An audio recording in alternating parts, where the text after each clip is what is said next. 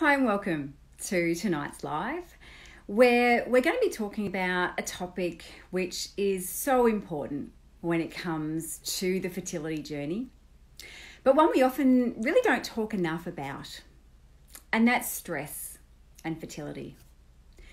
The journey to pregnancy can be wonderful and exciting, but it's also often fraught with difficulties with huge emotions, a huge over roller coaster of emotions that can be really overwhelming at times. So if you are feeling like you're struggling, you are certainly not alone. And I have, hopefully, Cath can join me. Um, sorry, Cath, I'm trying to find you here. Is have I done that there? Hopefully, Cath will be coming through shortly. Cath Corcoran is a conception psychologist who I often share patients with because it is such a difficult journey and the emotional side of this journey plays a huge role in helping you through and also helping to improve your fertility. So hopefully Cath can join me. I saw your request come through, Cath, and it said it's joined, but I can't see you yet. What have I got? I'll see if I can send a request.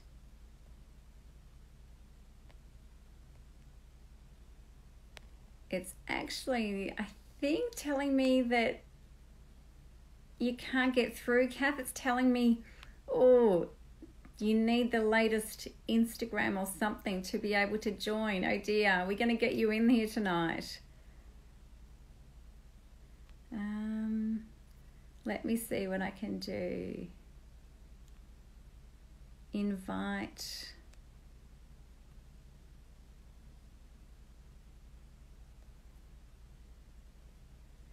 I think we're going to have technical issues here, Cath. I'm not sure if you're seeing this, but I'm, I'm getting a message that Cath needs the latest version of Instagram to be able to join. Oh, two seconds.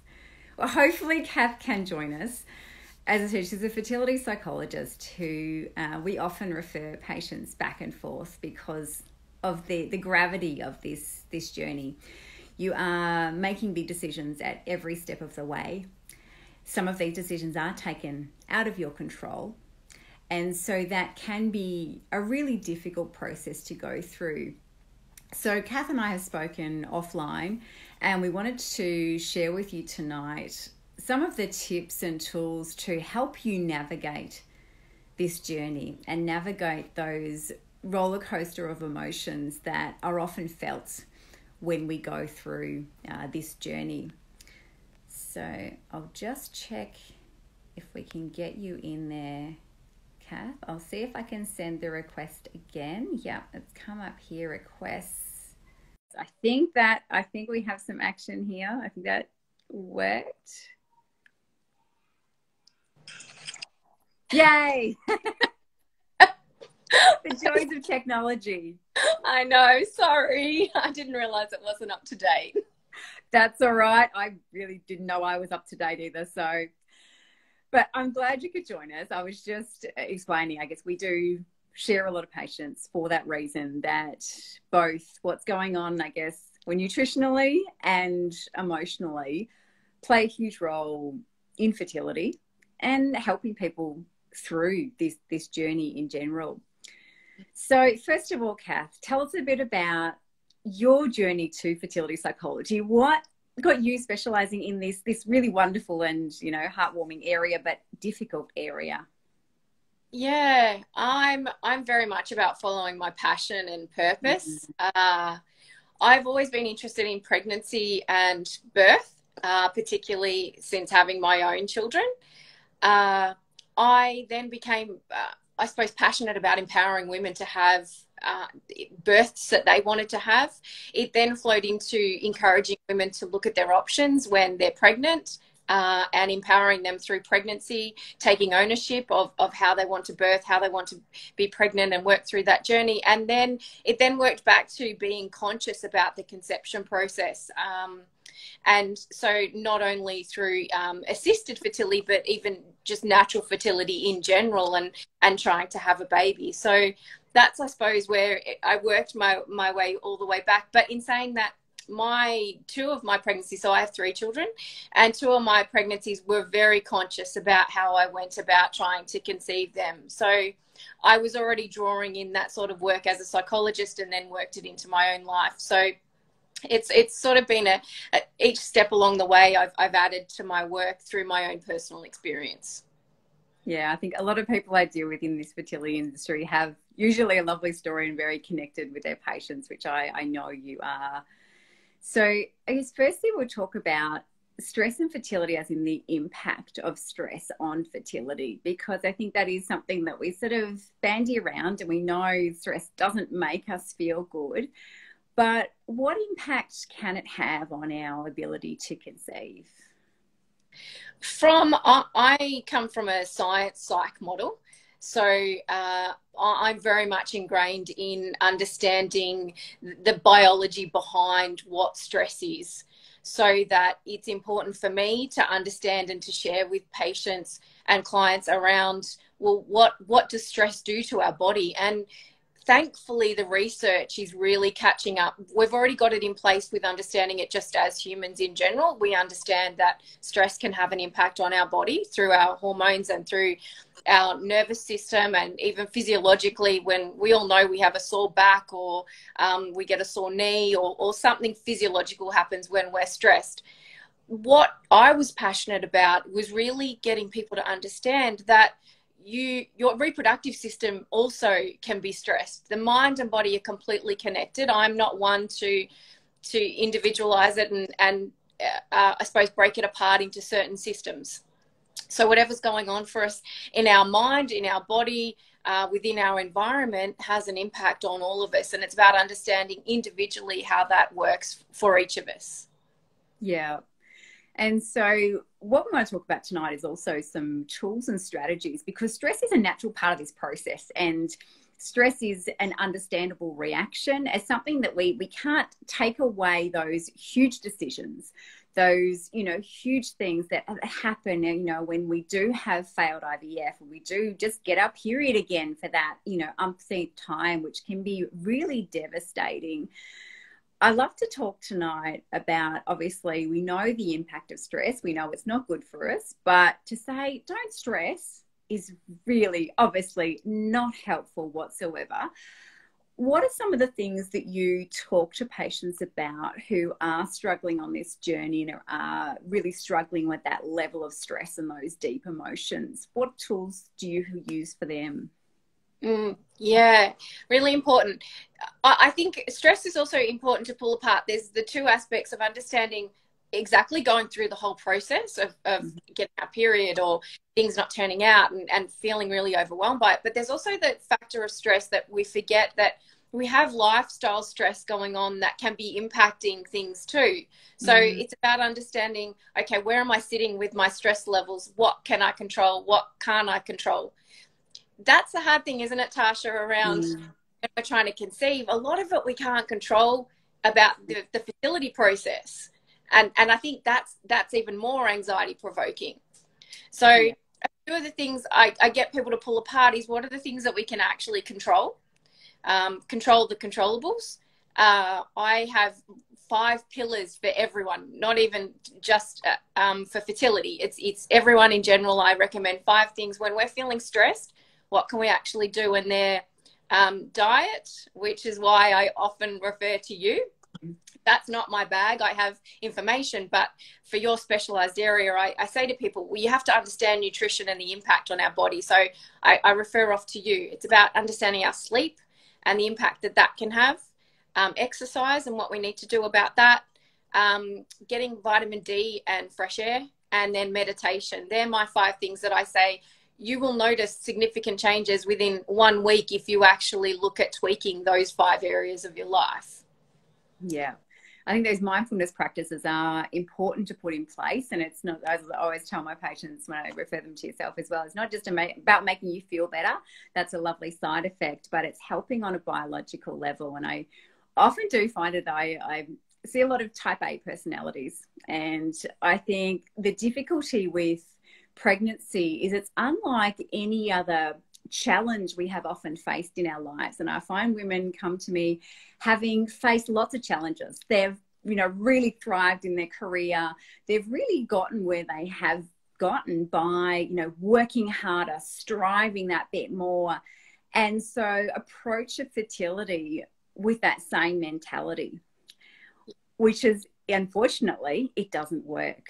So we really need to pedal backwards and, and change and reframe our mindset, which can be really difficult to do. So those mindfulness practices, I know there was a study in 2015, I think it was, that they looked at about 39 different trials on stress and found that implementing mindfulness and um, talk sort of cognitive behavior um, practices doubled the chances of pregnancy because we're looking at all those positive neurotransmitters and that impact on hormones and, and stress.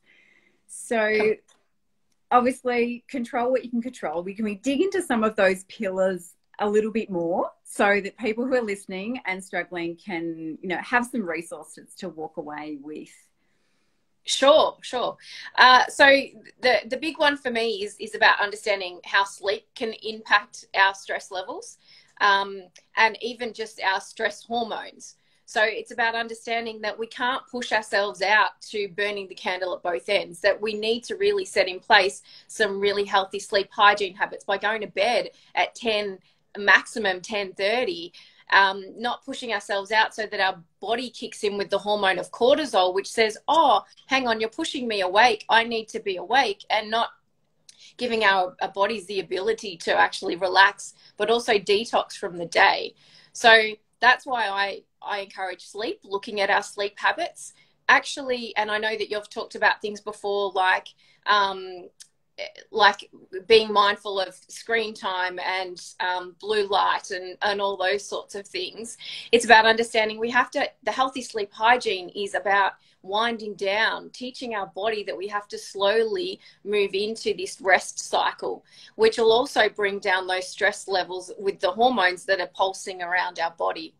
Uh, a lot of people, I use the analogy, it's sort of like in this modern day and age, a lot of people are, are hitting the wall like a Ferrari when they hit, go to bed. It's like they think, okay, I've got to rush around all day, and then okay, it's bedtime now at 10 30, 11 o'clock, whatever time. So it's about understanding we have to work through the gears. Otherwise, you're going to be hitting the wall at, in, in sixth gear. So that's what I, I think is, is an area to even start to tweak um, from tonight. You'd be able to do that. I talk a lot about that because it is so important. And I think anyone who is you know doing an IVF journey. I know we hear about a lot of melatonin, and it is really important that we help our body produce that natural melatonin and working in line with that circadian rhythm. As we look out now, it's dark, but are any of us winding down? We're probably not good examples on our screens talking here, um, but you know we're watching TV, we're scrolling Instagram, we are, as you said, wired. Some of us still working on our laptops, emailing till quite late at night. We're not allowing that melatonin to kick in. I even yeah recommend dim the lights I mean, candlelight's great if you can. We, as you said, you know, I like that analogy, hitting the, the wall with the Ferrari, but I'd say as well, we're bright light, bright light, bright light. And then we just expect the body to switch off and produce melatonin, and we either fall asleep stressed and exhausted, or we don't. We lay awake with that wired, tired uh, mentality. And sleep is the only time I tell my patients the body can look after eggs. It's too busy looking after brain and extremities and that it's you know it's when our body is got that lovely melatonin we've got that nice deep rest that our body can look after and heal some of those other aspects of our body so um, yeah i love that focus on sleep yeah the other one that i think why we work well together with referring is the nutrition aspect mm. and I refer to you because I know you know all the all the what bits and bobs that you need to know about having amazing eggs and fertility and those sorts of things. But the reason I also refer is because for, for me as a psychologist, and it's only an evolving field, but I'm very much aware of the gut mind brain connection. Uh, there's only studies, again, only coming out now, but it's highlighting that our gut health actually has an impact on our mental state. So that it is our second brain. So the neurotransmitters that are in the gut actually create whether we have anxious um, feelings and emotions alongside i'm not saying we don't have cognitive thoughts about it but we definitely have this physiological response around anxiety that some people might not even realize that they're triggering and pinging off just because of a physiological response with too much caffeine in their body or um, processed food or sugar. Um, it's about keeping an uh, awareness of what food actually can impact our neurotransmitters in our own gut. So that's why I like referring to you, is because you've got all that information on how do we make sure that this person isn't getting anxious and overwhelmed or even low because of the food choices that they're making. And sometimes, as you said, we're not aware of it.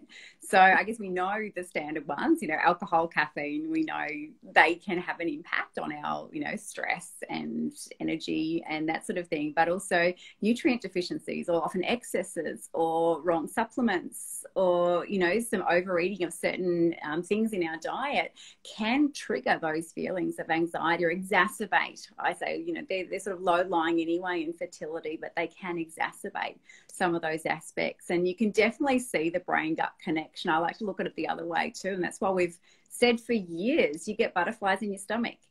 Mm-hmm. And you literally do. You're nervous, your gut gets all churned up. You may need to run to the bathroom before doing your presentation.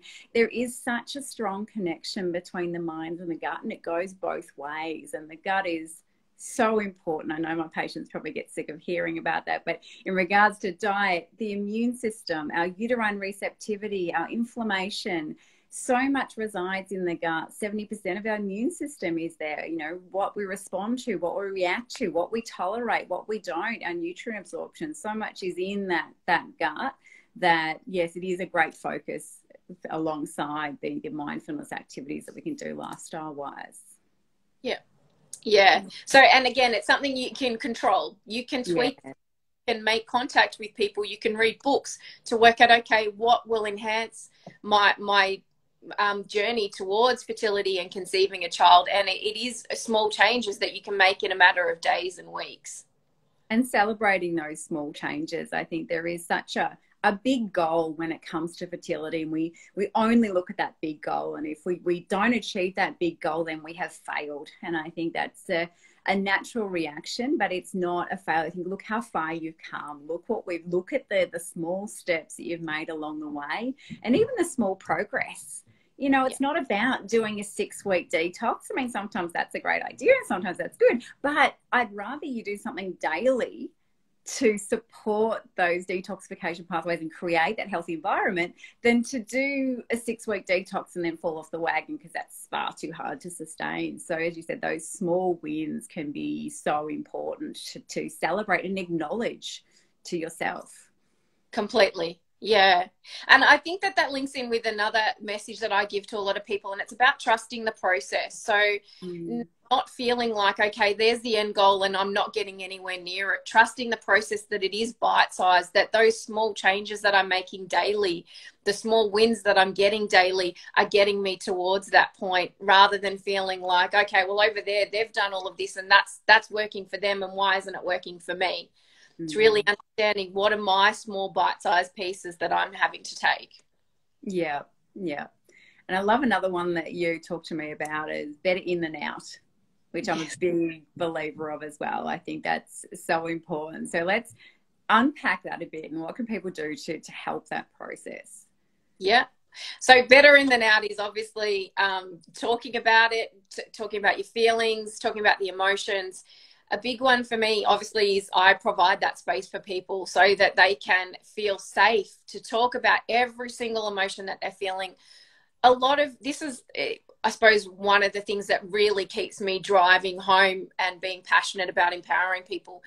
A lot of the issues that that we face with infertility around um, around just not being fertile or it not happening at that point in time around miscarriage around loss um, even around menstrual cycles, a lot of this stuff is taboo.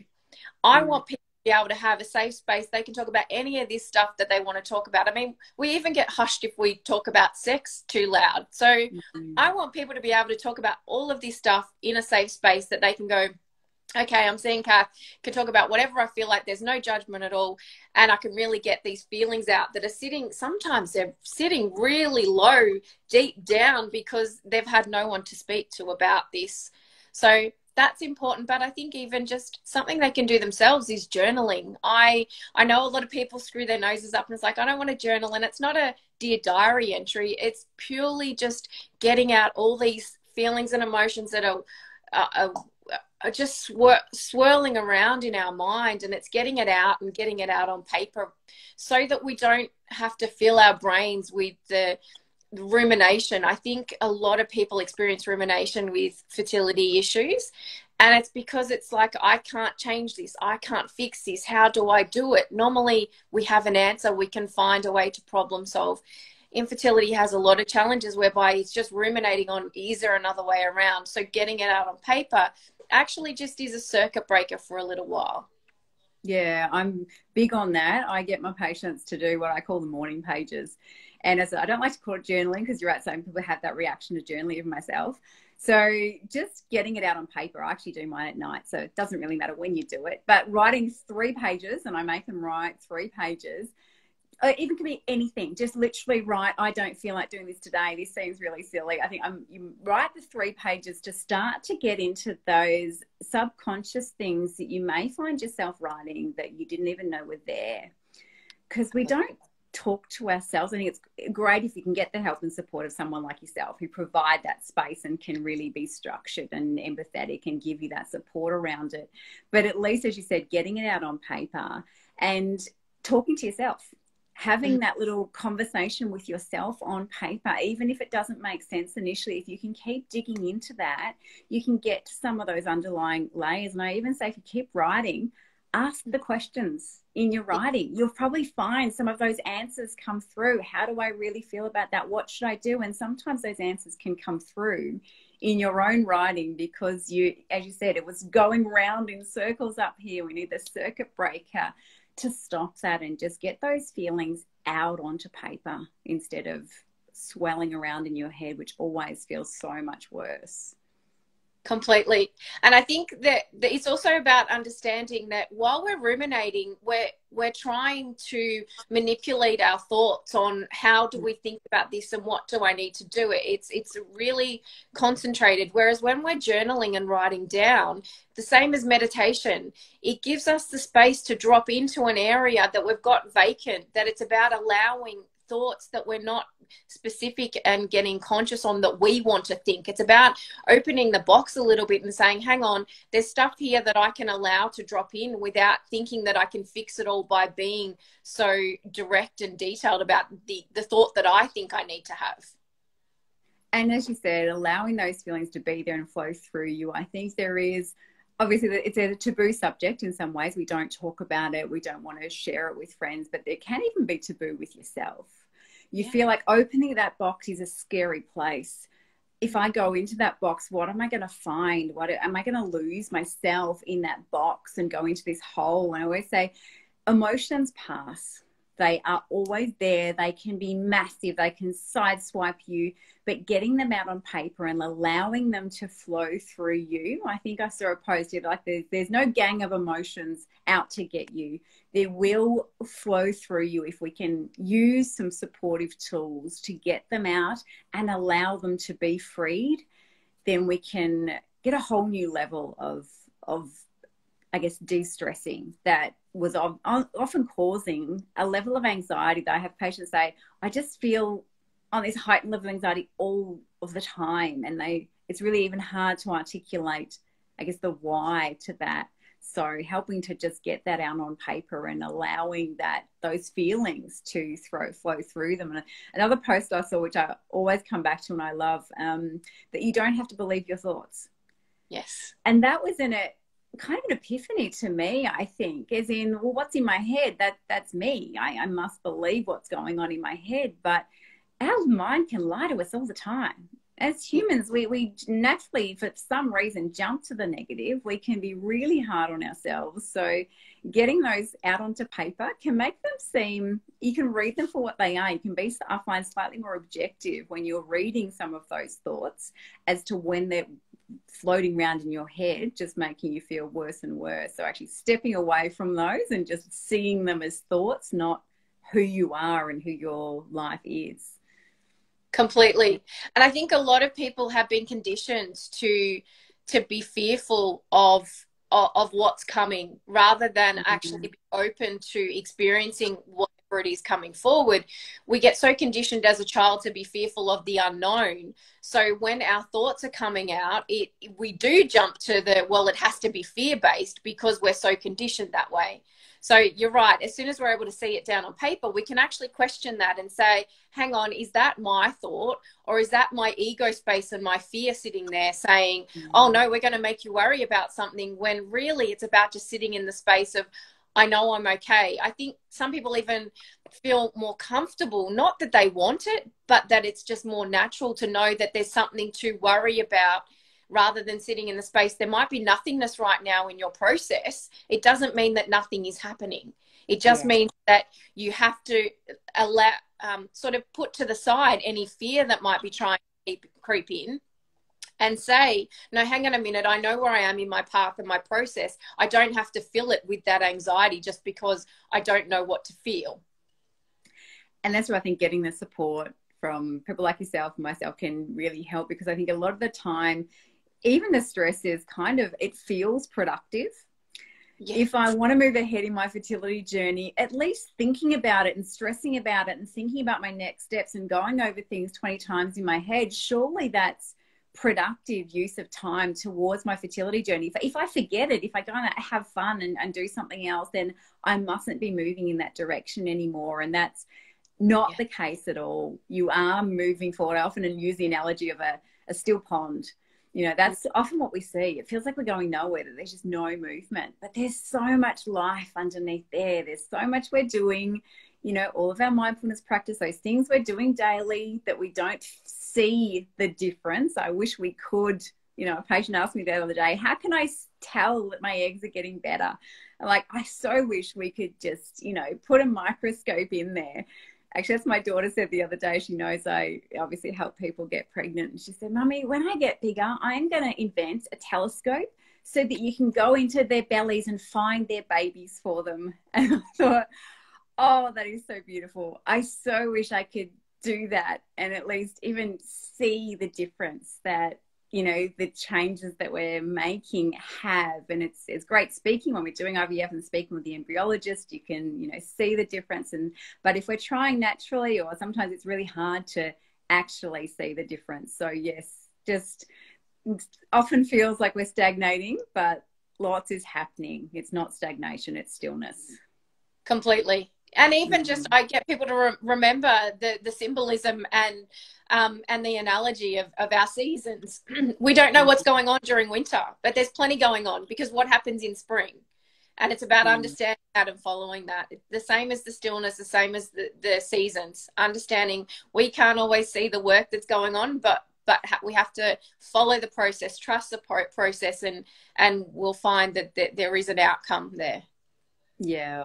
So well, thank you for sharing these amazing tips and tools. And I know it is is so important to help people navigate this journey from an emotional perspective, obviously for improved fertility, but also just improvement in life quality and relationships. You know, infertility can affect every part of your life, really. You know, your relationships with your partner, with yourself, with work colleagues. So much is impacted by this journey, which can be all consuming. So is there any other tips that you would like to leave us with? I know we went through five. We'll make sure we've covered all of the five things, and I think we've covered. I think there was two more that we that we've often discussed that I thought we might just touch on before we wrap up.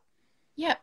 Yeah, no worries. So, um, reviewing um, your life or life review Mm. It's about understanding that we're our focus right now is on fertility, and sometimes it's about understanding that there might be other stresses in our life or other issues, sorry, that are causing undue stress in our life that mm-hmm. we really need to either eliminate, to put to the side, to maybe uh, so many people I see fertility actually brings up issues that they want clarity in their life around that they need to make a massive shift on and and the fertility is the is the breakthrough for them to because they've got something to say no hang on a minute i'm so passionate about wanting to achieve this other things now have to be relegated or reprioritized mm. so it mm. might be work it might be um, relationships with parents. It might be relationships with siblings. It might be um, even just uh,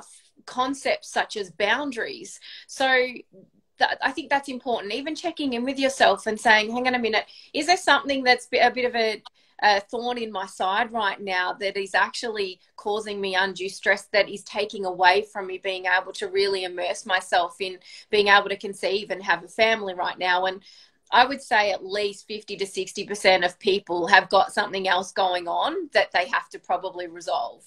Mm yeah, I think it's important, as you said, to look at those things. I think we tend to be so focused on the goal that we keep going and going and going and going and doing and doing. And I know I'm a doer as well. I'm a culprit of that. So it's really hard to yeah, think step back and I guess survey what's going on and look at it more objectively and what can we do to help you achieve that that goal, I guess, more in a more streamlined way.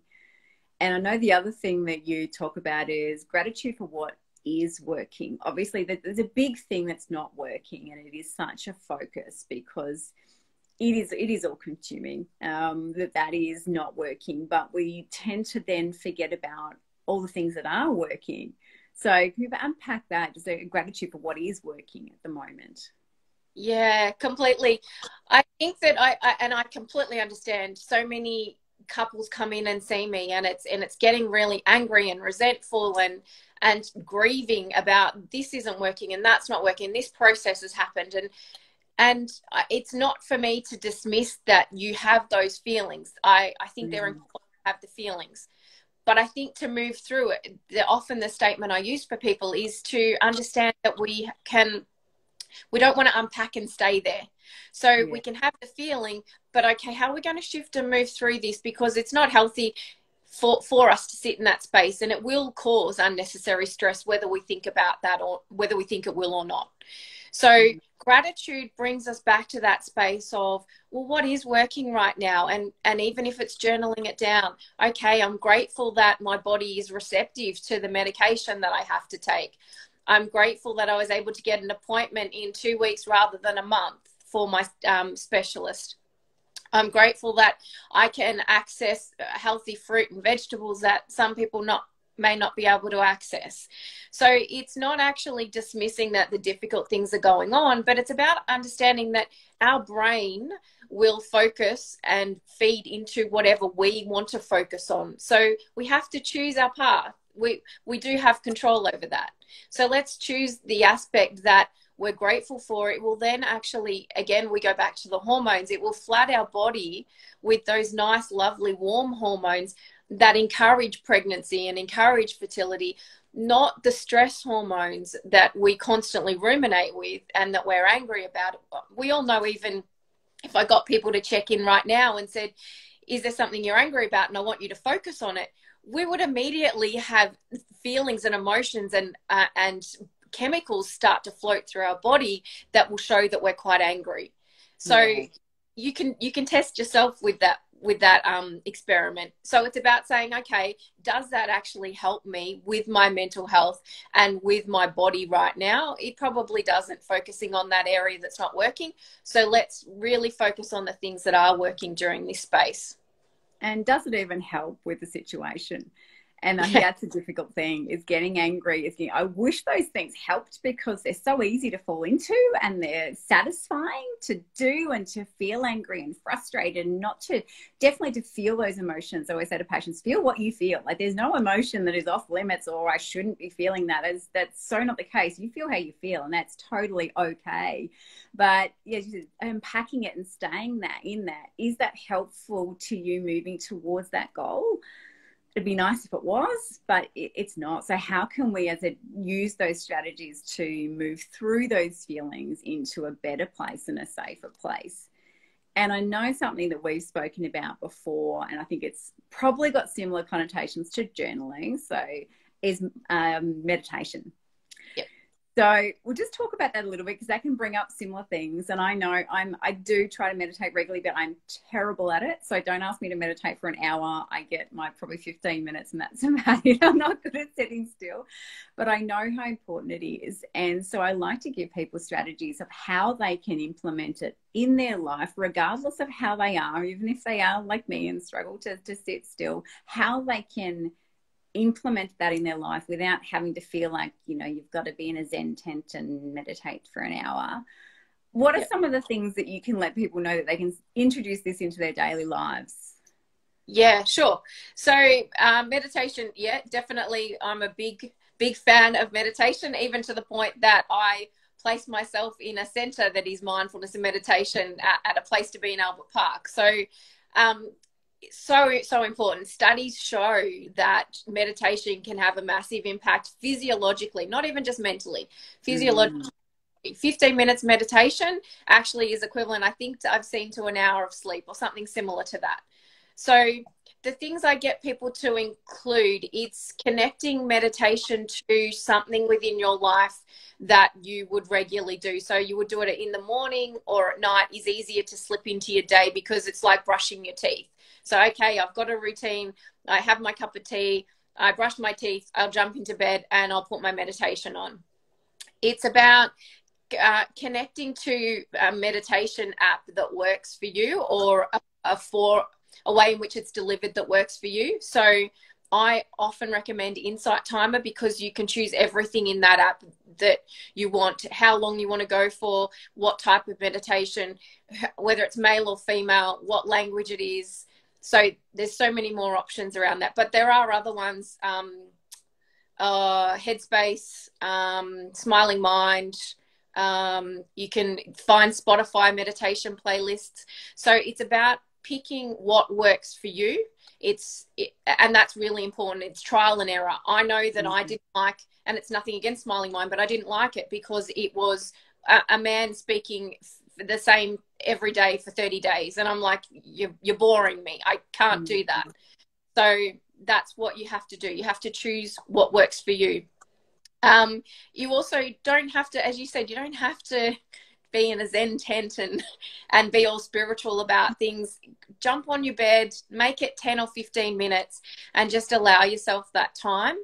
Um, and the the final thing um, i would suggest is uh, most people they they feel like they're going to do it wrong. There's no mm. wrong way to do meditation. But also, if thoughts are dropping in, then that's okay. If the shopping list drops in, this is what meditation is about. It's actually about acknowledging the thoughts and then allowing them to float through.